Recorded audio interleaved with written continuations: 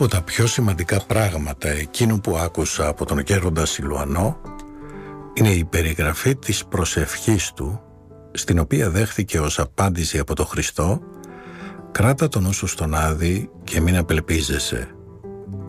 Δύο πράγματα με κατέπληξαν από την αρχή όταν μου μίλησε για την εμφάνιση του Κυρίου σε Αυτόν. Το ότι η όραση διήρκεσε μόνο μία στιγμή και ότι κατά τη στιγμή αυτή του αποκαλύφθηκε η αιωνιότητα. Γιατί πίστεψα ότι αυτός που εμφανίστηκε σε Αυτόν και του μίλησε ήταν ο Πανάμωμος Χριστός και όχι άνθρωπος ή κάποιο άλλο πνεύμα. Διότι ενώ ήταν ένας τελείως απλός Ρώσος χωρικός, σχεδόν αγράμματος, δέχθηκε ξαφνικά το πνεύμα της προσευχής για όλο τον Αδάμ, πράγμα που δεν μπορούν να χωρέσουν ακόμη και οι πιο διάσημοι θεολόγοι. Για μένα ήταν ξεκάθαρο ότι ο ίδιος ο Κυρίος εμφανίστηκε σε Αυτόν, διότι του μετέδωσε τη δική του κατάσταση, εκείνο για το οποίο ο Σιλουανός μιλά στα κείμενά του. Ο Κύριος σπλαχνίζεται τους πάντες. Και γι' αυτό νομίζω γράφει πιο πέρα.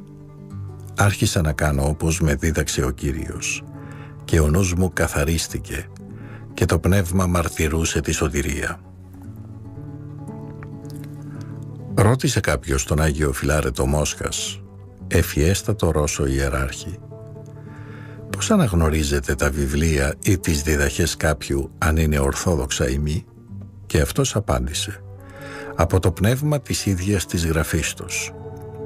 Διαβάζοντας τις γραφές του γέροντα συναντούμε σε κάθε βήμα την αρχαίγονη ανθρώπινη συνείδηση και ταυτόχρονα την πιο υπέροχη γνώση κρυμμένη σε αυτό το αρχαίγωνο.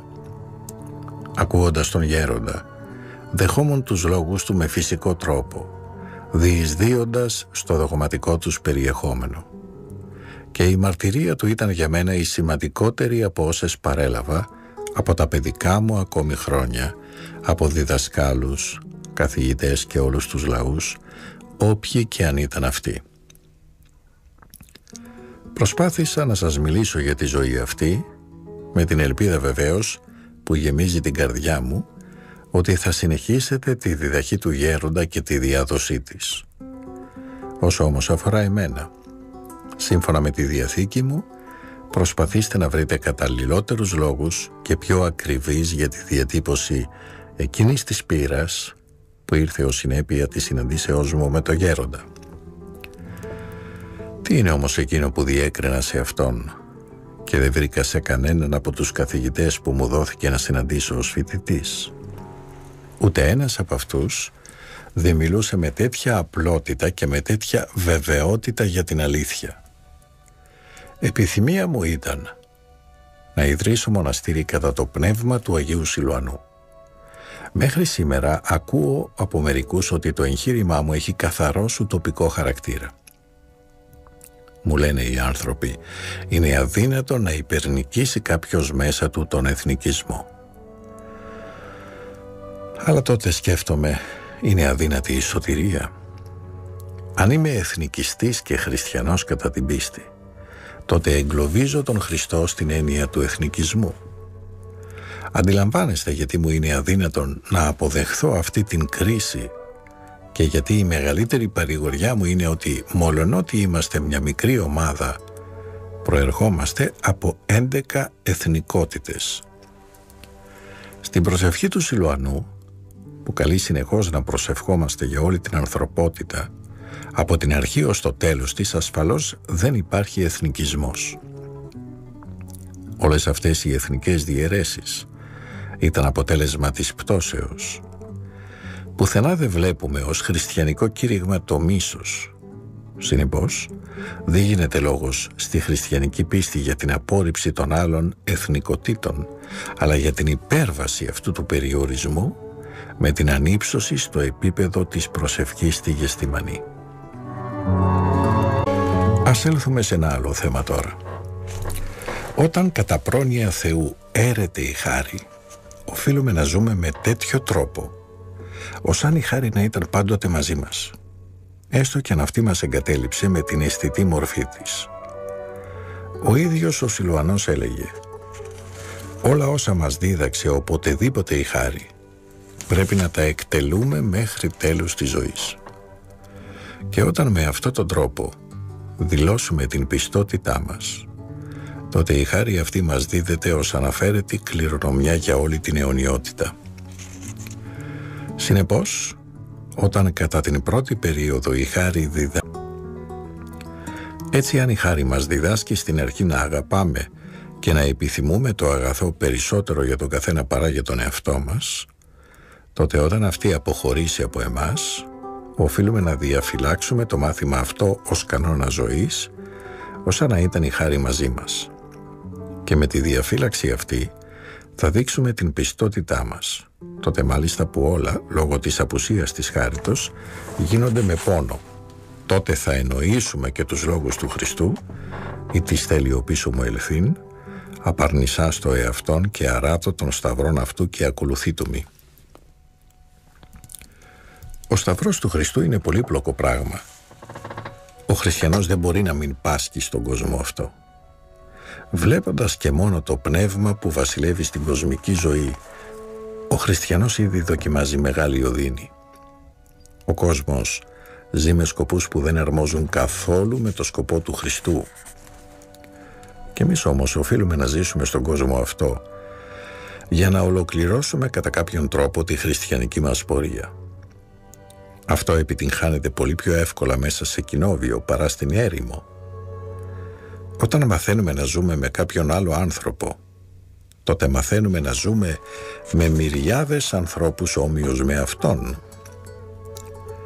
Όταν γνωρίζω 10 ή 15 ανθρώπους που ζουν εδώ, τότε γνωρίζω εκατομμύρια εκατομμυρίων ανθρώπων στα βάθη των αιώνων του παρελθόντος και του παρόντος. Η ζωή τους περνάει από μέσα μου αυτό λοιπόν διδάσκει η χάρη. Και αυτό όπως έλεγε ο Σιλωανός οφείλουμε να το κρατήσουμε ως το τέλος της ζωής μας. Και τότε θα μας δοθεί η σωτηρία. Η δεύτερη περίοδος της ε, καταχριστών ζωής χαρακτηρίζεται από την άρση της χάριτος κατά την αισθητή της μορφή όταν κάθε χριστιανική πράξη γίνεται για τον άνθρωπο δύσκολη η περίοδος αυτή είναι φοβερά επώδυνη και βαριά, αλλά εντελώς απαραίτητη για τον καθένα μας την οδό της σωτηρίας. Επειδή κατά την περίοδο αυτή με την πιστότητά μας προς τη Διαθήκη του Χριστού θα εκδηλωθούν ο χαρακτήρας, η απόφαση, η πίστη μας. Και όπως ο Κύριος λέει, στην αρχή δίδεται χάρη στον άνθρωπο χωρίς να έχει κάνει εκείνος τίποτε. Έπειτα η χάρη αυτή έρεται για να δώσει στον άνθρωπο το προνόμιο να αποδείξει την πιστότητά του. Ύστερα όμως, όταν δείξει την πιστότητά του εν ολίγο, δίδεται σε αυτόν ως κτήμα του μεγάλος θησαυρό, η αιωνιότητα. Ο μοναχισμός στις εξωτερικές του μορφές διατηρεί κάποια απλότητα χωρίς καμία προσποίηση. Αλλά στην ουσία του είναι απίστευτα μεγαλειώδης. Αυτό οφείλει να παραμείνει στην ψυχή του καθενός μας. Αν στο μοναστήρι θέλουμε να οικοδομήσουμε τη σωτηρία μας, τότε να μην ξεχνούμε το τεράστιο πλεονέκτημα που μας παρέχει, τη δυνατότητα να ζήσουμε με εμπιστοσύνη τη χριστιανική ζωή. Στον κόσμο αυτό είναι πιο επικίνδυνο, γιατί ο άνθρωπος αναπόφευκτα γίνεται αμέσως αντικείμενο εκμεταλλεύσεως και υποδουλώσεως. Είναι απαραίτητο να φυλάξουμε μέσα μας την αντίληψη αυτή του Χριστού. Όλη η ανθρωπότητα είναι σαν ένα δέντρο και όλοι εμείς είμαστε είτε κλαδιά, είτε φύλλα, είτε καρπί επάνω στο δέντρο. Είναι φυσικό για κάθε χριστιανό να γίνει φορέας όλου του Αδάμ.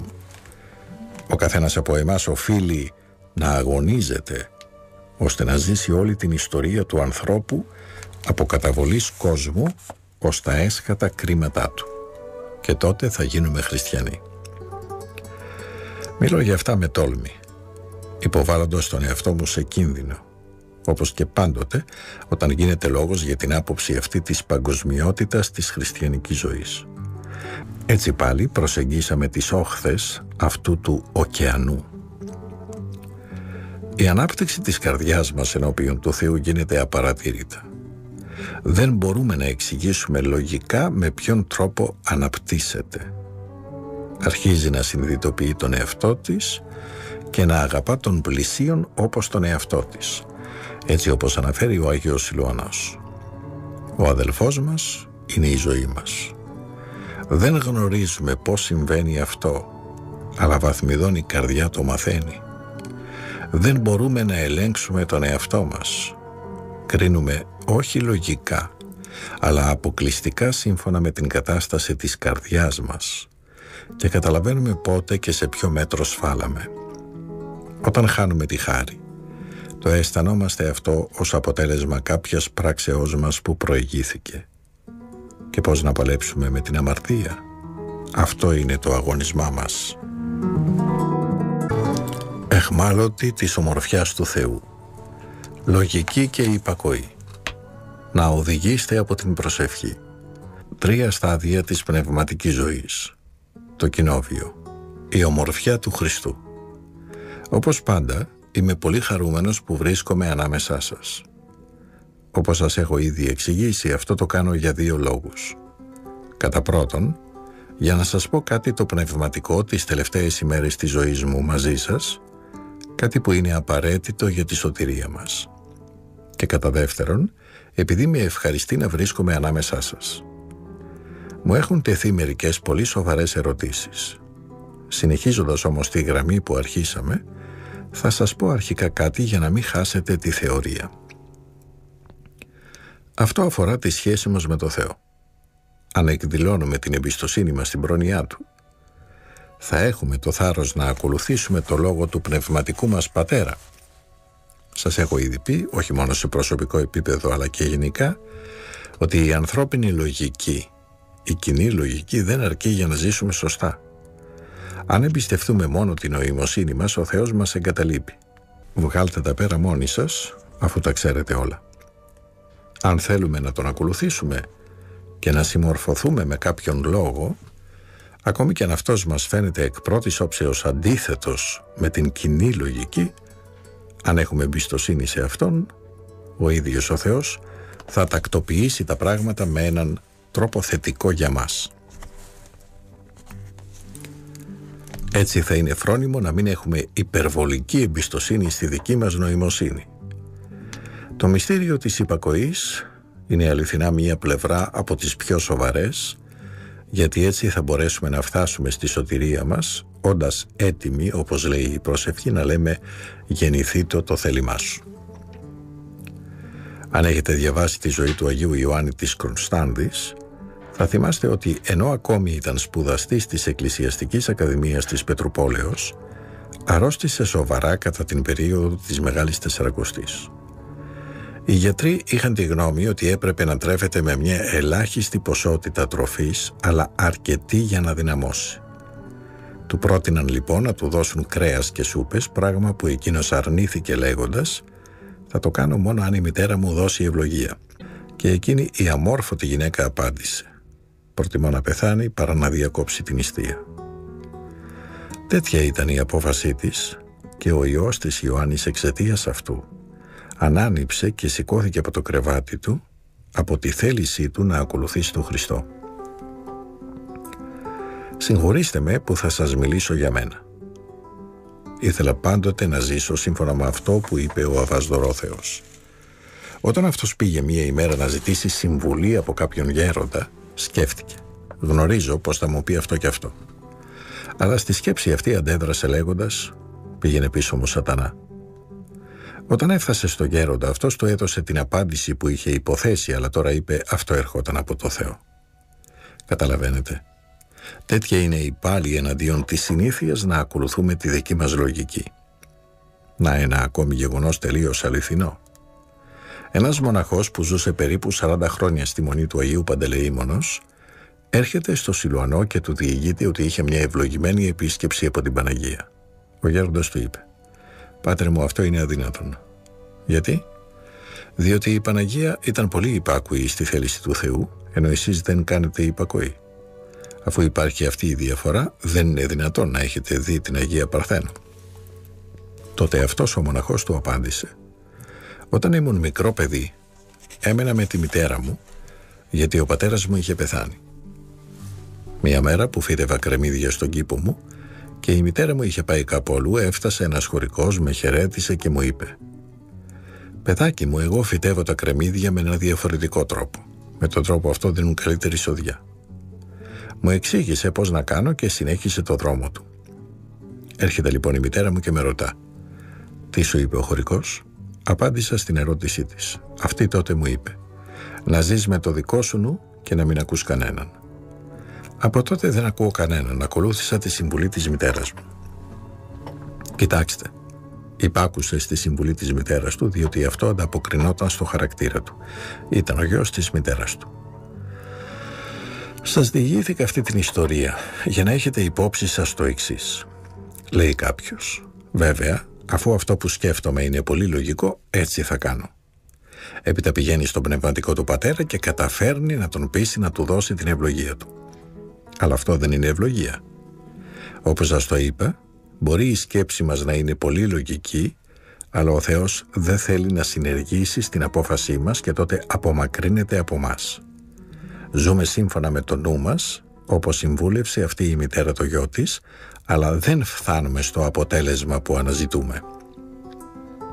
Κατά γενικό κανόνα, οι περισσότεροι από τους συγχρόνους μας είναι έξυπνοι και έχουν καλή παιδεία, έχουν όμως αυτή τη συνήθεια να ζουν σύμφωνα με τη λογική. Γι' αυτό είναι πολύ δύσκολο να δεχθούν κάτι που έρχεται σε αντίθεση με τη λογική τους. Για παράδειγμα να ζει κανείς σε ένα μοναστήρι όπου υπάρχει πολλής κόσμος, όπου δεν υπάρχει ελπίδα αλλαγής των εξωτερικών συνθήκων. Δεν έχουν αυτή την πίστη στη Θεία Πρόνοια, ότι ο Θεός παρόλα αυτά θα μας οδηγήσει σε ένα θετικό αποτέλεσμα ως απάντηση στην υπακοή μας. Γνωρίζω πως υπάρχει εδώ ένα πρόσωπο που δεν είναι ευχαριστημένο με αυτά που ακούει τώρα και το καταλαβαίνω πολύ καλά. Γιατί; Σκέφτεται. Αν κανείς έρχεται έχοντας τέτοια εμπιστοσύνη και κάνει όλα όσα θα του πω, θα συντριβώ από το βάρος της ευθύνης. Κι εγώ ο ίδιος είπα ότι θα προτιμούσα να μην ακολουθούν το λόγο μου για να μην φέρω την ευθύνη. Ας πορεύονται όπως θέλουν. Βλέπετε, αυτή η στάση υποχρεώνει τους ιερείς και τους πνευματικούς να προσέχουν κάθε λόγο τους, κάθε λεπτομέρεια. Καταλαβαίνετε; Σύμφωνα με τον Άγιο Σεραφείμ και άλλους, η αληθινή πνευματική πορεία των γερόντων είναι αυτή. Καταρχάς, απορρίπτουν κάθε ανθρώπινη αντίληψη και προσεύχονται και αυτό που τους έρχεται ως πρώτη σκέψη μετά από την προσευχή αυτή το λένε. Προφέρουν το λόγο όπως ο Χριστός τους εμπνέει και εξαιτίας αυτού υπάρχει αλλαγή και στις δύο πλευρές. Όπως λέει ο Άγιος Ιωάννης της Κλίμακος, αυτοί που ακολουθούν τη συμβουλή του Πνευματικού Πατρός θα είναι πολύ κοντά στον εσταυρωμένο Χριστό. Αυτό που σας είπα το γνωρίζω εκ πείρας δεν είναι καθόλου εύκολο να ακολουθεί κανείς τις συμβουλές του πνευματικού αν η σκέψη του δεν είναι σωστή. Θα μπορούσα να σας αναφέρω πολλά ζωντανά παραδείγματα, αλλά θα σας πω αυτό του νη, το πολύ πρόσφατο. Στο άρθρο μου περί των βάσεων της Ορθοδόξου Ασκήσεως λέω ότι η σημαντικότερη πλευρά του μοναχικού βίου βρίσκεται στη δυνατότητα που προσφέρει να κόψει κανείς το θέλημά του –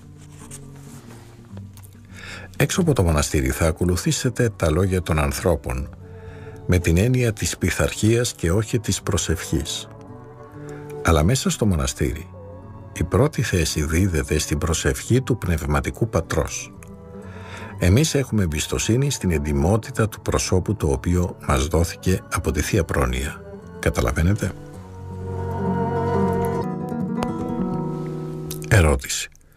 Τι σημαίνει αυτή η τελευταία φράση «Εμείς έχουμε εμπιστοσύνη στην εντιμότητα του προσώπου» Απάντηση Α, η εντιμότητα ξέρετε είναι η ζωή της προσευχής.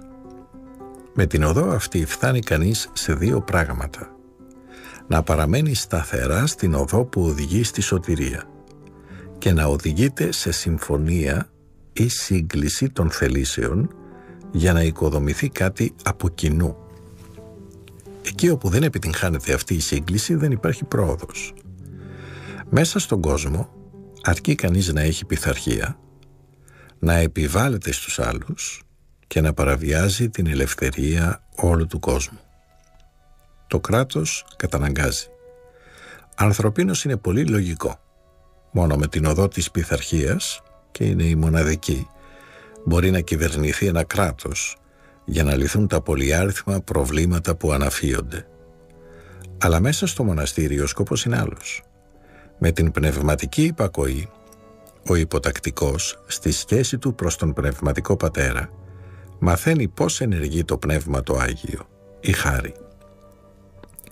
Έτσι φτάνει κανείς σε μία σύγκληση των θελήσεων που οικοδομεί. Για τους νομικούς όμως, το γεγονός ότι μέσα στο μοναστήρι όλη η εξουσία είναι συγκεντρωμένη στο πρόσωπο του ηγουμένου, ενώ οι άλλοι δεν έχουν καμία εξουσία, δεν ευσταθεί θεωρείται εγκληματικό. Πνευματικά όμως στέκεται. Εμείς λέμε γεννηθείτε το θέλημά σου. Προσεύχομαι ο Θεός να σας δώσει να το καταλάβετε. Το ερώτημα για τις τρεις φυσικές περιόδους της πνευματικής ζωής είναι ένα πρόβλημα εξαιρετικά σπουδαίο. Στην αρχή η χάρη διδάσκει τον άνθρωπο, δηλαδή προκαλεί μέσα μας κινήσεις σύμφωνες με το πνεύμα των εντολών του Ευαγγελίου. Αυτό συμβαίνει σε τέτοιο σημείο που το κάθε τι τακτοποιείται χωρίς προσπάθεια. Κατόπιν έρχεται η δυσκολία της δεύτερης περίοδου, όταν η χάρη με την απτή αυτή μορφή μας εγκαταλείπει και το ερώτημα που τίθεται τότε είναι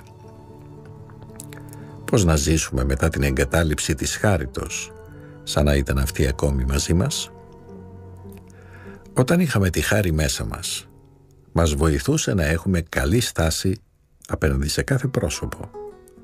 Είναι μια στάση τελείως φυσιολογική, όσο η χάρη είναι παρούσα. Μετά την άρση της χάριτος, για να συνεχίσει κανείς να ενεργεί όπως ενεργούσε κατά την πρώτη περίοδο, δηλαδή να έχει θετική στάση απέναντι στον αδελφό ή την αδελφή του, πρέπει να προσπαθήσει πολύ για να φυλάξει τον ίδιο τρόπο ζωής. Γι' αυτό και πιέζει κανείς τον εαυτό του. Το ίδιο και με την προσευχή. Η προσευχή ήταν τότε μια κατάσταση τελείως φυσική. Εύκολα προσευχόταν κανείς και η προσευχή πήγαζε από το βάθος της καρδιάς. Έπειτα όταν η χάρη μας εγκαταλείπει, πρέπει να προσπαθούμε να προσευχόμαστε όπως όταν αυτή ήταν μαζί μας, με όλο το είναι μας, με όλη την καρδιά μας, με όλη τη διάνοιά μας, ακόμη και με το σώμα μας. Γι' αυτό και υπάρχουν οι διάφορες μορφές ασκήσεως, οι γονικλησίες κλπ.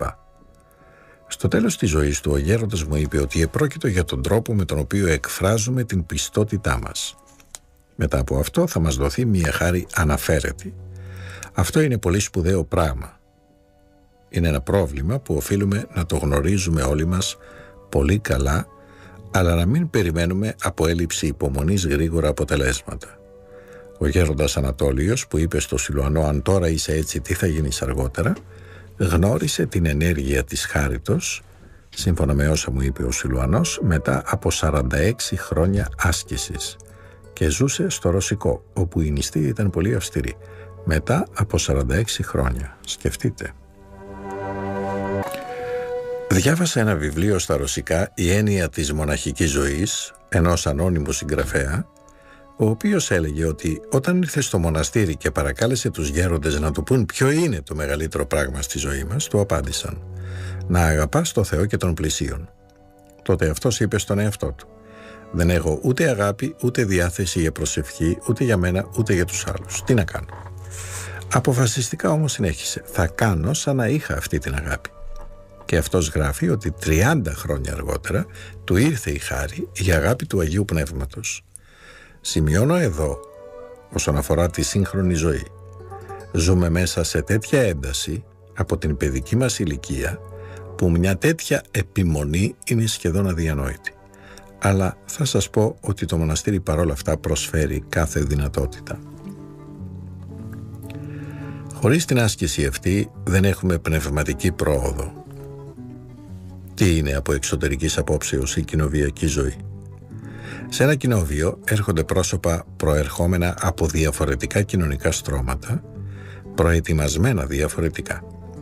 Εκφράζουμε την ενότητά μας, συμμετέχοντας στις ακολουθίες στο ναό, στην αποκοινού προσευχή και μετέχοντας στην κοινή τράπεζα.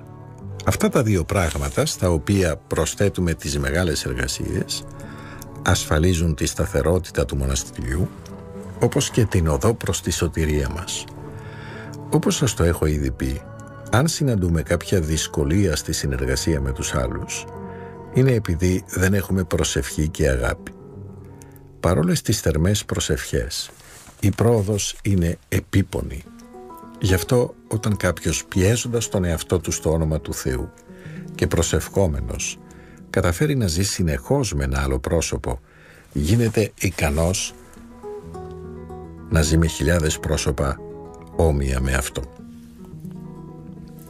Σας μίλησα ήδη γι' αυτό και θα καταλάβετε ότι κατά βάθος στην έρημο η σωτηρία είναι λιγότερο βέβαιη από ότι στο κοινόβιο. Ο τύπος της ζωής στην έρημο ίσως να είναι πολύ χρήσιμος όταν το πνεύμα της μετανοίας είναι τόσο δυνατό που μας σωθεί σε άσκηση που υπερβαίνει αυτήν που ζήσαμε μέσα στο κοινόβιο. Όταν ο Χριστός λέει «Αγάπα των πλησίων σου ως σε Αυτόν», αυτή η εντολή, όπως το έχετε παρατηρήσει, απέχει πολύ από το «Αγάπα των πλησίων σου» της Παλαιάς Διαθήκης. Όταν ο Μωυσής βλέποντας τη δυσκολία να φτάσουν στη γη της επαγγελίας έλεγε «Αγαπήσεις των πλησίων σου ως Αυτόν», καταλάβαινε ότι από τη ζωή του εξαρτιόταν η ζωή 600.000 Εβραίων που είχε οδηγήσει έξω από την Αίγυπτο.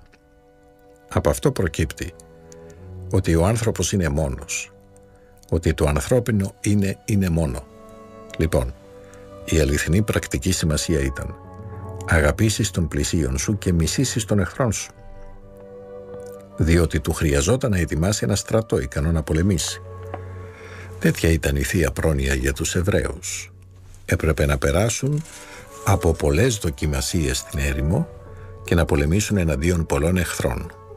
Αλλά ο Χριστός έχει ενώσει αυτή την εντολή με την πρώτη εντολή που είναι να αγαπήσεις το Θεό εξ όλης της διανοίας σου και εξ όλης της ισχύω σου και εξ όλου του είναι σου, λέγοντας ότι η δεύτερη εντολή είναι όμοια με την πρώτη. Μέσα στο κοινόβιο οφείλουμε αληθινά να προσεχόμαστε στο Θεό για όλα τα μέλη με καρδιά που κατανοεί ότι είμαστε φίλοι, αδελφοί που βαδίζουμε στο δρόμο για τη Βασιλεία του Χριστού και η Βασιλεία του Χριστού σύμφωνα με αυτό που γράφει ο Σιλουανός είναι να φέρουμε μέσα στην καρδιά μας όλο το σύμπαν και τον ίδιο το Θεό Δημιουργό. Για αυτούς που φέρουν αυτή την αγάπη μπορεί να είναι απαραίτητο να χωριστούν από τους άλλους όπως έγινε στην περίπτωση του Αγίου Σεραφείμ, ο οποίος δεν μπορούσε να υποφέρει τους νέους που ερχόταν να ζήσουν μαζί του, διότι ήταν απρόσεκτοι, δηλαδή ζούσαν με αμέλεια, χωρίς ένταση. Και επειδή αυτό δεν συμφωνούσε με αυτό που αναζητούσε ο Αγίος Σεραφείμ, τους έστελνε στο κοινόβιο. Μέσα στο κοινόβιο είναι δυνατό να πραγματοποιήσουμε την άσκηση που ο Θεός μας ζήτησε και να δημιουργήσουμε μια από κοινού ζωή. Αυτό εξαρτάται από μας. Θα σας πω ότι για μένα είναι εύκολο να σας αγαπώ όλους και όλες. Για τους άλλους όμως είναι ένα πρόβλημα αρκετά δύσκολο. Τι να κάνουμε λοιπόν; Έχοντας αυτή τη διάθεση στην καρδιά μου, προσεύχομαι για το κάθε μέλος της αδελφότητός μας και για τα άλλα πρόσωπα που είναι συνδεδεμένα με την πνευματική μας οικογένεια και με την αγάπη αυτή υπερβαίνουμε τις πολυάριθμες δυσκολίες της ζωής. Αν για παράδειγμα προσευχόμαστε για κάποιον που μας πολεμά όχι άδικα και έχει αρνητικό λογισμό εναντίον μας, όταν τον συναντήσουμε ενώ βγαίνει από το δωμάτιό του, θα αισθανθεί την καρδιά μας ευνοϊκά διατεθειμένη προς Αυτόν και ο αρνητικός του λογισμός θα εξαφανιστεί. Αν αντιθέτως δεν προσευχόμαστε για την ίδια περίπτωση, δεν θα έχουμε την ενέργεια να εκδηλώσουμε την αγάπη μας. Τότε, πολεμούμενοι από το λογισμό θα πούμε Να λοιπόν, αυτό που σκεφτόμουν είναι σωστό. Αλλά αν εμείς έχουμε αυτή την ενότητα της προσευχής γύρω από το ποτήριο του Χριστού, θα καταλάβουμε ότι είναι εύκολο να αγαπάμε. Όταν ακολουθούμε τα ίχνη του Χριστού, όσο πιο κοντά του είμαστε, τόσο λιγότερους φίλους θα έχουμε μαζί μας στην πορεία μας προς Αυτόν. Και αυτό ακριβώς είναι το κοινόβιο. Συνάθρηση ανθρώπων που είναι διατεθειμένοι να ακολουθήσουν τα ίχνη του Χριστού. Αυτό που σας επαναλαμβάνω για πολλές ημέρες τώρα είναι η αληθινή βάση για να φτάσει κάποιος σε αυτό που ο γέροντας Σιλουανός πραγματοποίησε. Να διαμένει αιωνίως εν Θεό, μαζί με το Θεό. Φέρουμε στη συνείδησή μας αυτό τον τελικό σκοπό. Μπορούμε όμως να τον πραγματοποιήσουμε. Αν πάμε μέσα στον κόσμο, θα βρούμε ότι ο κόσμος οργανώνει τη ζωή του έχοντας άλλους σκοπούς, άλλα ιδεώδη. Γι' αυτό, το να βρει κάποιος μια πνευματική εν Χριστώ οικογένεια είναι ένα δώρο εξαιρετικά πολύτιμο. Ευχαριστώ τον Κύριο που με οδήγησε στα πόδια του Σιλουανού. Τι υπάρχει στο μοναστήρι μας; Μια υπέρβαση της ανθρώπινης αδυναμίας η οποία περιορίζει το ανθρώπινο πρόσωπο. Συχνά είπαμε ότι κάποτε υπάρχουν δυσκολίες να δεχθείς άλλες γλώσσες, άλλες συνήθειες, άλλες κουλτούρες ή την έλλειψη κουλτούρας κλπ. Αλλά ο Θεός μας έδωσε να ζούμε μαζί εν ειρήνη. Γνωρίζετε ότι εδώ υπάρχουν περισσότερες εθνικότητες παρά στα μεγάλα μοναστήρια. Ο κόσμος που έρχεται εδώ είναι πιο ευρύς, πιο παγκόσμιος από ό,τι στα μεγάλα μοναστήρια. Η πνευματική πρόοδος μας εξαρτάται από τη στάση μας και αυτό που θα ήθελα είναι ο Θεός να βοηθήσει να υπερβαίνουμε τις δυσκολίες της ζωής μας. Ποια είναι η δυσκολία της ζωής μας; Δέκα μέτρα δίπλα από το μοναστήρι μας βρίσκεται ένας κόσμος τελείως διαφορετικός από το δικό μας και εμείς βρισκόμαστε κάτω από την εξουσία του. Ακόμη και αν δεν συναντούμε τους ανθρώπους άμεσα, η ατμόσφαιρα πάντως δημιουργείται από τους ανθρώπους που μας περιβάλλουν. Το να επιμένετε λοιπόν στη λειτουργική σας προσευχή για τη σωτηρία του κόσμου δεν είναι έργο ευκαταφρόνητο αλλά μεγαλειώδες. Αυτό το έργο εκπληρώνεται με έναν τρόπο πολύ ταπεινό. Είναι όμως και ακατανόητο από τους ανθρώπους αυτού του κόσμου οι οποίοι μας επισκέπτονται διότι δεν μπορούν να καταλάβουν το αληθινό περιεχόμενο της ζωής μας. Όσο για μας ελκυόμαστε από την πνευματική ομορφιά των εντολών του Χριστού που είπε «Ερέθη της αρχαίης, εγώ δεν λέγω ημίν». Ο Χριστός που έδωσε τον νόμο του Μωυσή του έδωσε την αποκάλυψή του με έναν τρόπο σχετικό ακόμη. Αγαπήσεις τον πλησίον σου. Και ποιος είναι ο πλησίον μου; Όταν ένας νομικός ρώτησε τον Κύριο ποιος είναι ο πλησίον μου, αυτός του έδειξε έναν Σαμαρίτη που ήταν εκείνη την εποχή ο πιο απεχθής εχθρός των Ιουδαίων. Με άλλα λόγια του είπε «Αγαπάτε τους εχθρούς ημών». Όταν ζούμε αυτή την αγάπη μέσα μας μπορούμε να απαντήσουμε «Ναι είναι δύσκολο, ναι είναι οδυνηρό». Μελετώντας όμως όσο είναι δυνατόν την ιστορία της ανθρωπότητος, των πολιτισμών και των θρησκειών, βλέπουμε ότι κανείς δεν ξεπέρασε το Χριστό σε ηθικό επίπεδο. Και η ηθική ομορφιά του Χριστού μας ελκύει σε τέτοιο σημείο που είμαστε έτοιμοι να υποφέρουμε οτιδήποτε ώστε να μορφωθούμε με το πνεύμα του Χριστού. Δεν έχουμε άλλη επιλογή. Ο Χριστός είπε «Ο πατήρ μου δε δοκέμει και ουδής δύναται αρπάζειν εκ της χειρός του πατρός μου». Και αρκετές φορές σκέφτηκα τι ήθελε να πει με αυτό ο Χριστός; Μας στερεί την ελευθερία; Τι είδους φυλακή είναι αυτή; Είναι μια φυλακή όπου πάμε ελεύθερα Κανείς δεν μας κρατάει εκεί. Είμαστε πάντοτε ελεύθεροι να φύγουμε. Ναι, είμαστε φυλακισμένοι από την ομορφιά του Θεού μας. Καταλήγουμε σε κάτι που συμπεραίνω μέσα από τη ζωή μου. Στην ερώτηση ποιος είναι ο Θεός; Τι σημαίνει Θεός; Ποιος είναι αυτός; Ο Απόστολος Παύλος λέει ότι είναι ο Πατήρ, ο δημιουργός του ουρανού και της γης και όσων υπάρχουν. Ο Θεός είναι ο δημιουργός μας. Ο Πούσκιν σε ένα από τα ποίηματά του λέει αυτός με την απόλυτη δύναμή του από το μηδέν μας έφερε στο είναι. Τον ονομάζει εχθρό, ο οποίος μας δημιούργησε από κακή θέληση. Και θα σας πω ότι αυτό είναι σωστό για εκείνους που δεν αναγνωρίζουν το Χριστό ως Θεό. Για τους ανθρώπους, η ζωή πάνω στη γη είναι θλίψη, πόνος, ταλαιπωρία χωρίς τέλος. Γιατί λοιπόν τα υποφέρουμε όλα αυτά; Διότι ο Δημιουργός ήρθε και έζησε ανάμεσά μας και εμείς τώρα τον γνωρίζουμε προσωπικά. Αν ο Θεός, ο Δημιουργός μας, είναι όπως ο Χριστός, τότε εμείς είμαστε η αιώνια δέσμοι της αγάπης Του. Τίποτα από αυτά που είναι κακά μέσα στη ζωή του κόσμου δεν μπορούν να προέρχονται από τον Χριστό. Εμείς είμαστε οι δέσμοι Του, σε σημείο που να μην μπορούμε να πάμε πουθενά άλλου. Θέλουμε να πραγματώσουμε τη συγγένειά μας με τον Πατέρα μας. Φυλάξτε το αυτό και θα αισθανθείτε μέσα στα βάθη της καρδιάς σας τον χαρακτήρα της ζωής μας και θα τον εκτιμήσετε. Ο σκοπός μας είναι ο πιο μεγάλος, ο πιο τέλειος που μπορεί κανείς να διανοηθεί. Και απευθυνόμαστε στο Χριστό όπως ο Απόστολος Θωμάς, ο Κύριός μου και ο Θεός μου. Γνωρίζω ότι όλα τα κακά μας υπάρχουν εξαιτίας μου και όχι εξαιτίας Του. Έρχεται λοιπόν το πνεύμα της μετανοίας. Συγχωρήστε με που έγραψα στο βιβλίο μου ότι η μετάνοια δεν έχει τέλος πάνω στη γη. Διότι το τέλος της μετανοίας είναι να γίνουμε τελείως όμοιοι με τον Χριστό. Αυτός είναι ο σκοπός. Όσο ακόμη υπάρχει απόσταση ανάμεσα σε Αυτόν και σε μας, υπάρχει τόπος για τη μετάνοια. Ελέησόν με, ελέησόν με, ελέησον ημάς. Επαναλαμβάνοντας αυτά τα λόγια, Κύριε Ιησού Χριστέ ο Θεός ημών ελέησον ημάς, εκφράζουμε ότι αισθανόμαστε την απόσταση που μας χωρίζει από Αυτόν, το απόλυτο, το αιώνιο είναι. Και αν για τους άλλους το γεγονός της επαναλήψεως των ίδιων λόγων μπορεί να θεωρηθεί ανόητο, για μας έχει μια διαφορετική έννοια. Κράζουμε λοιπόν ακατάπαυστα. Ναι, ελέησον ημάς. Προσεύχεστε για μένα. Αρκετά για σήμερα. Στα κείμενά μου, πενιχρά βεβαίως σε σχέση με εκείνα που θα μπορούσαν να γραφτούν, ομιλώ για μερικά χαρακτηριστικά αυτής της αντιλήψεως του εν Χριστώ προσώπου για ό,τι εν υπάρχει στον άνθρωπο. Τον άνθρωπο που γίνεται πρόσωπο τον χαρακτηρίζει το πλήρωμα της συνειδήσεως όλης της κτίσεως.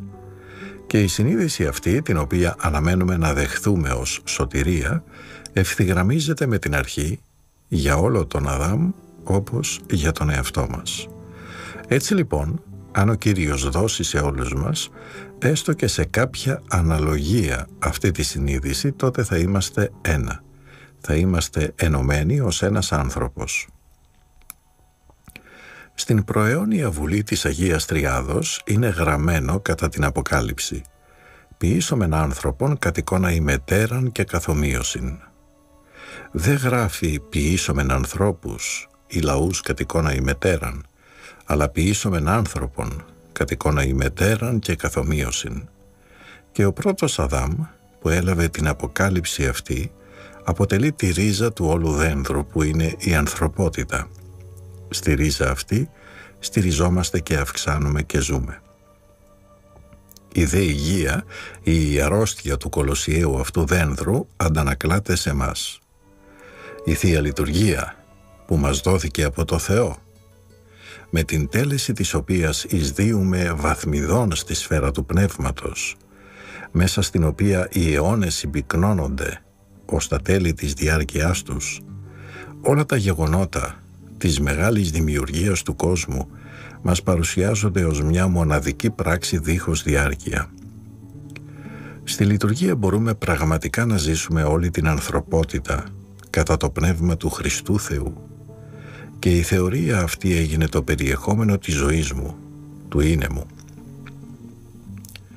Τι ήταν οι δώδεκα Απόστολοι όταν ο Κύριος τους έδωσε την εντολή του να πορευθούν σε όλο τον κόσμο; Και τι είμαστε εμείς εδώ, ένδεκα άνθρωποι. Αλλά και εμείς μπορούμε να γίνουμε μέσο για τη διακονία του κόσμου και με τον τρόπο αυτό να βρούμε τη σωτηρία μας εύκολα μένουμε ενωμένοι, γνωρίζοντας ότι δεν υπάρχει τίποτε μεγαλύτερο και εγκύτερο προς τον πάσχοντα υπερόλου του κόσμου Χριστό από εκείνο που μας λέει ο Σιλουανός. Και όταν παραμείνουμε ενωμένοι, τότε το οχυρό του αφύλακτου και ανυπεράσπιστου τόπου μας, που είναι ανοιχτό σε όλα τα άγρια θηρία, θα είναι ασύγκριτα ισχυρότερο από όλα τα τείχη. Τότε το μοναστήρι μας μπορεί να λάβει από το Θεό ευλογία και μάλιστα τέτοια ευλογία ώστε όντως να υπηρετεί τους ανθρώπους. Η διδαχή του γέροντα σε κάθε κείμενό του φτάνει ως τα έσκατα όρια. Για τη μετάνοια λοιπόν λέει ότι μετανοούμε, δεν είμαστε άμεμπτοι, εφόσον δεν αποκτήσαμε τέτοια κατάσταση ώστε να ζούμε όλη την ανθρωπότητα ως περιεχόμενο της ίδιας της ζωής μας. Αυτό είναι η παγκοσμιότητα του Χριστού. Είναι αδύνατο να την εννοήσουμε ως παγκοσμιότητα γνώσεως, όπως τείνουν να φρονούν μερικοί πολυμαθείς, ότι δηλαδή κατορθώνεται όταν ο άνθρωπος γνωρίζει και τον χριστιανισμό και τον βουδισμό και τον Ισλαμισμό και τον κομφουκιανισμό και τον μαρξισμό και όλα τα άλλα. Η παγκοσμιότητα δεν είναι γνώση των ποικίλων απόψεων του ανθρωπίνου είναι επί της γης, αλλά είναι η αγάπη του Χριστού που αγκαλιάζει τα πάντα. Είναι η αγάπη η οποία μου φαινόταν στην αρχή ως κάτι το ανάξιο και ψυχολογικό, αλλά ύστερα αποκαλύφθηκε στη συνείδησή μου ως δύναμη οντολογική που ενοποιεί. Ο πατέρας αγαπά τον Υιό και βεβαίως αγαπά και το Άγιο Πνεύμα. Και ο Υιός αγαπά τον Πατέρα και το Άγιο Πνεύμα που εκπορεύεται από τον Πατέρα. Και το Άγιο Πνεύμα είναι στραμμένο προς τον Πατέρα. Έτσι η αγάπη αυτή είναι αιώνια ενότητα της Αγίας Τριάδος και στην κοινωνία αυτή των υποστάσεων περικλείεται το απόλυτο είναι του Θεού. Όταν λοιπόν στερεωθείτε με αυτή τη συνείδηση στη διδασκαλία του Σιλουανού και στη θεωρία του που εκφράζεται με απλά λόγια, τότε πλέον θα είστε ενωμένοι και θα χαίρεστε με την ενότητα αυτή και θα γνωρίζετε τι να διδάξετε στους άλλους ανθρώπους στους οποίους ο Θεός δεν έδωσε ακόμη αυτή τη γνώση. Με αυτόν τον τρόπο θα μπορέσουμε να διακονήσουμε τους ανθρώπους προσφέροντάς τους το λόγο της ζωής, της αιώνιας ζωής και δι' αυτής της οδού θα οδηγούμαστε στη σωτηρία. Τότε δεν θα υπάρχουν ανάμεσά μας παρεξηγήσεις, ούτε θα διασπάται η ζωή εκ των ένδων, διότι θα έχουμε τη δύναμη αυτή της ενότητος μέσα μας. Θα μπορούμε να δεχόμαστε τους άλλους ανθρώπους που στρέφονται στην Ορθοδοξία. Όσο λοιπόν μένουμε ενωμένοι, η δραστηριότητά μας θα είναι πραγματικά αποτελεσματική. Αν όμως διασπαστούμε, δεν θα μπορέσουμε να επιτελέσουμε τη διακονία μας με τον τρόπο που αρμόζει. Όταν αρχίζουμε να μιλούμε για την ενθεό ζωή, είναι σαν να βρισκόμαστε στην ακτή ενός μεγάλου ωκεανού. Και δεν υπάρχει τέλος στη ζωή αυτή και στο λόγο. Ταυτόχρονα όμως, κάθε λόγος πρέπει ουσιαστικά να αντανακλάται ακέραιος. Όπως ο Θεός είναι πάντοτε ένας. Έτσι και με κάθε θεία ενέργεια παρουσιάζεται στην πληρότητά του. Δεν τεμαχίζεται εμείς ωστόσο τον διαιρούμε επειδή δεν είμαστε σε θέση να τον χωρέσουμε όλον. Έτσι λοιπόν, να γνωρίζετε ότι η συνάθρησή σας αποτελεί αυτή την περίοδο για μένα τον πολυτιμότερο τόπο επάνω στη γη. Και σκέφτομαι για αυτήν περισσότερο από όλα πριν από την έξοδό μου. Η προσευχή μου όλα αυτά τα 30 χρόνια ήταν μόνο να εισακούσει ο Κύριος την προσευχή του γέροντος – δώσε σε όλους τους λαούς της γης να σε γνωρίσουν εν πνεύματι Αγίο. Αμήν. Μεταφέρω λοιπόν σε όλους το αίτημά μου. Κατά τη σπουδαία αυτή στιγμή της ζωής της μονής μας. Να συνειδητοποιήσουμε κάπως ότι έχουμε κληθεί από τον Θεό τον ίδιο και από την αγάπη προς Αυτόν. Ευχαριστώ που με ακούσατε. Αδυνάτησε η καρδιά μου και δεν έχω δυνάμεις να μιλήσω παραπάνω. Θα ήθελα να σας μιλώ σαν τη φωτιά, αλλά δεν μου είναι δυνατόν. Είμαι κάρβουνο που σβήνει, ναι. Όταν όμως η φωτιά αυτή μας εγγύσει, τότε γινόμαστε ικανοί να ζούμε και τον Άδη και τη Βασιλεία του Πατρός. Προσεύχομαι όλοι σας να αγαπάτε και να εμπιστεύεστε πλήρως ο ένας τον άλλο, όποιος και να είναι, Δεν υπάρχουν εμπόδια για την εμπιστοσύνη όταν είμαστε ενωμένοι στο έργο μας. Ο Θεός έδωσε και σε μένα να γνωρίσω κάτι εκ Εμπιστοσύνη, συνθήκες για τη μετάδοση της παραδόσεως. Αφήστε τον υπεύθυνο ελεύθερο να παίρνει τις αποφάσεις. Αν στη συνείδηση οποιοδήποτε από εσά υπάρχει έλλειψη εμπιστοσύνης προς το πρόσωπό μου, μην περιμένετε από μένα ούτε ένα λόγο, έναν αληθινό λόγο. Σας είπα ήδη πολλές φορές ότι δεν είμαι και δεν ήμουν ποτέ γέροντας μόνο λόγω της ηλικίας μου και των περιστάσεων θα μπορούσε κανείς να πει ότι είμαι γέροντας. Στην πραγματικότητα έζησα ήδη 20 χρόνια περισσότερο από τον Άγιο Σεραφείμ, τον Άγιο Σιλουανό και τους άλλους. Γιατί λοιπόν ο Θεός παρέτεινε τη ζωή μου, παρόλη τη μετριότητά μου, τις ελλείψεις μου, την απουσία μέσα μου οποιοδήποτε πράγματος που θα μπορούσε να σας εμπνεύσει η εμπιστοσύνη προς εμένα, πιστεύω εν ότι φύλαξα το λόγο που άκουσα, το λόγο ενός ανθρώπου που τώρα η Εκκλησία τιμά ως Άγιο. Πιστεύω ότι ο φόβος του Θεού που συντρίβει την καρδιά μου μαρτυρεί ότι διαμένω στο αληθινό, στην αλήθεια. Όπως κάθε φορά που μιλώ μαζί σας, έτσι και τώρα, εξητώ με την προσευχή από την Παναγία να μου δώσει λόγο, να με εμπνεύσει γιατί να μιλήσω. Δεδομένου ότι στη βάση της ζωής μας βρίσκεται η αποκάλυψη του Τριαδικού Θεού, οφείλω τώρα να μιλήσω για την Αγία Τριάδα όπως οι Ορθόδοξοι πατέρες την κατάλαβαν και όπως οι Απόστολοι, κυρίως ο Απόστολος Παύλος, την εξέφρασαν ξεκάθαρα Κοιτάξτε αυτό το μυστήριο. Το θείο είναι. Ο πατέρας υπάρχει αιωνίως. Έχοντας προσωπικό χαρακτήρα, δεν ζει μόνος, αλλά ως πρόσωπο έχει τον Υιόν του και το Αγίο Πνεύμα. Με την αιώνια και προαιώνια γέννηση, ο πατήρ εξέχε όλο το είναι του στον Υιό του τον αγαπητό. Το ίδιο πράγμα, με έναν τρόπο διαφορετικό, ισχύει και για το Άγιο Πνεύμα. Όσο για μας, Είμαστε δημιουργημένοι κατ' εικόνα της Αγίας Τριάδος ως ένα πολυυπόστατο είναι. Αλλά κατά μία άλλη έννοια είμαστε δημιουργημένοι κατ' εικόνα του μονογενούς Υιού. Και η σωτηρία μας εναπόκειται στη σχέση μας με τον Πατέρα δια του μονογενούς Υιού και του Αγίου Πνεύματος. Μετά τη γέννηση του Υιού, στον οποίο ο Πατέρας εκχέει όλο το είναι του, δέχεται την απάντηση του Ιού που δίνει όλο το είναι του στον Πατέρα. Αυτό φανερώνεται κυρίως στην ενανθρώπισή του. Ο πατήρ ήταν αυστηρός στον κήπο της Γεστημανή και ακόμη πιο αυστηρός στο Γολγοθά. Αλλά ο Υιός γνώριζε τον Πατέρα.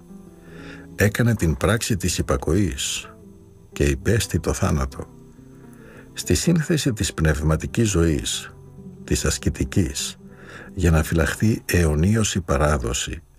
Αναζητά κανείς επίσης κατ' εικόνα του μονογενούς Υιού που υπερβαίνει το νου μας μέχρι την απόλυτη κένωση, αυτή την εμπιστοσύνη προς όσους ενεργούν ως φορείς μεταδόσεως της γνώσεως. Ντρέπομαι να μιλώ για τον εαυτό μου.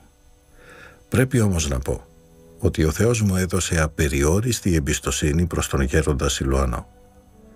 Υπήρχαν κυρίως στην αρχή πολλές περιπτώσεις που μου ήταν αδύνατο να εννοήσω τα λόγια τους στην πληρότητά τους. Στις περιπτώσεις αυτές όμως ακολουθούσα το λόγο του με εμπιστοσύνη και μου φαίνεται, αν βασιστώ στα γεγονότα, ότι μου μιλούσε ως το τέλος, όπως δεν είχε μιλήσει σε κανέναν άλλον από αυτούς που βρισκόταν κοντά του και ήταν συνομιλικοί του. Δεν ξέρω ως ποιο σημείο είχε ανοιχθεί στο στρατόνικο τον οποίο είχε ρωτήσει. Πώς μιλούν οι τέλειοι, τι είναι η υπακοή κλπ. Αλλά στην εποχή μου δεν υπήρχε κανένας άλλος εκτός από μένα που βρίσκονταν σε τόσο στενή επαφή με το Σιλουανό. Όσο ζούσε ο γέροντας Σιλουανός, εξηγούσε σε κάποια πρόσωπα την έννοια των λόγων του. Κάθε φορά δε που πήγαινα σε αυτόν για να επαληθεύσω την ακρίβεια των απαντήσεών μου στις ερωτήσεις τους, μου επιβεβαίωνε αυτό που είπα. Με βάση αυτή την εμπειρία, τολμώ να μιλήσω με κύρος, χωρίς να διεκδικώ τη θέση διδασκάλου που κατέχει υψηλή έδρα. Ζω ανάμεσά σας ως όμοιό σας, χωρίς να εξουσιάζω κανέναν. Καθήκον μου όμως είναι να υπερασπίζω την ορθόδοξη διδασκαλία της σωτηρίας. Ξαναδιάβασα ο ίδιος αυτό που έγραψα στο τελευταίο μου βιβλίο «Οψόμεθα των Θεών καθώς εστί». Για να σας πω αυτό, ακούω τα λόγια της Παναγίας. Μείνετε ασφαλισμένοι στην οδό αυτή. Μην επιτρέπετε σε κανένα να κλονίσει την εμπιστοσύνη σας.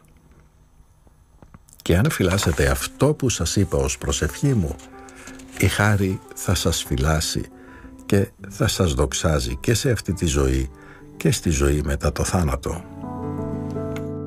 Το πρόβλημα όμως είναι ως ποιο σημείο θα πρέπει να με ακολουθείτε; Με άλλους όρους, ως ποιο σημείο μου έχετε εμπιστοσύνη; Θα μου επιτρέπετε να οικοδομήσω το μέλλον σας όπως το συνέλαβα με την προσευχή; Βρισκόμαστε τώρα σε δύσκολη περίοδο. Όλοι είμαστε κουρασμένοι και εξασθενημένοι από τον εξωτερικό μας αγώνα, που είναι σαν να υπηρετούμε σε κάποιο μικρό ξενοδοχείο και συγχρόνως πρέπει να κρατούμε το πνεύμα μας πάντοτε σε προσευχή με καρδία συντετριμένη. Μιλώ για αυτά, διότι αν δεν έχετε περισσότερη εμπιστοσύνη σε μένα από ότι στη δική σας άποψη για τα πράγματα, δεν μπορείτε να κάνετε υπακοή. Αν όμως είστε αληθινοί μαθητές της παραδόσεως, θα αφήσετε το λόγο αυτού που είναι υπεύθυνος να βρει τη θέση του στην καρδιά σας. Τι θέλω να πω; Τώρα προσεύχομαι περισσότερο από οποιονδήποτε άλλον και αυτό είναι πολύ φυσικό διότι αισθάνομαι την ευθύνη μου ενώπιον του Θεού για όλους σας. Βρισκόμαστε μπροστά στη δυνατότητα να γίνουμε μία αδελφότητα πιο ισχυρή, πιο βαθιά, πιο μεγάλη και ικανή να υπομένει την πληθώρα των ανθρώπων που μας επισκέπτονται. Αν δεν έχετε όλη αυτή την εμπιστοσύνη, αν δεν θέλετε να μου επιτρέψετε να ρυθμίσω τα πράγματα, να αποφασίσω αυτό που πρέπει να κάνουμε, όλα θα αποδιοργανωθούν. Αν βλέπετε τα πράγματα όπως εγώ, αντιλαμβάνεστε πως θα βρεθούμε μπροστά σε δύο δυνατότητες. Τη σωτηρία, τη Θεία Χάρη από τη μία πλευρά και την πλήρη καταστροφή αυτού που τώρα ζούμε από την άλλη και η αδελφότητά μας θα διαλυθεί. Αν έχω την πλήρη εμπιστοσύνη σας, σας βεβαιώνω πως τα πράγματα θα είναι αρμονικά και το μέλλον θα είναι πιο ασφαλές. Διαφορετικά, το επαναλαμβάνω, όλα θα χαθούν. Αν είχατε ποτέ την ευκαιρία να μελετήσετε τους μεγάλους πολέμους, τις μεγάλες μάχες, τις στρατιωτικές επιχειρήσεις κατά τη διάρκεια των εμφυλίων πολέμων κλπ, θα βλέπατε ότι υπήρχαν στην ιστορία πολλοί στρατηγοί, αλλά πολύ λίγοι Ναπολέοντες, Αλέξανδροι. Βέβαια, υπήρχαν συνεργάτες και στρατηγοί ως φίλοι τους, αλλά η τελική απόφαση ανήκε στον Αλέξανδρο, στον Ναπολέοντα και όχι στους άλλους. Σας λέω κάτι που όλοι γνωρίζετε. Ας πάρουμε για παράδειγμα τον ολέθριο πόλεμο στη Ρωσία. Την εισβολή του Ναπολέοντα ως τη Μόσχα. Πολλοί στρατηγοί και ανώτεροι αξιωματικοί έλαβαν μέρος στο πολεμικό συμβούλιο μετά τη μάχη στο Μποροδίνο. Εξωτερικά ο γαλλικός στρατός δεν είχε κερδίσει αυτή τη μάχη, γι' αυτό και μερικοί αξιωματικοί και στρατηγοί έλεγαν «Ας συνεχίσουμε τη μάχη αύριο. Ας σταματήσουμε το στρατό του Ναπολέοντος».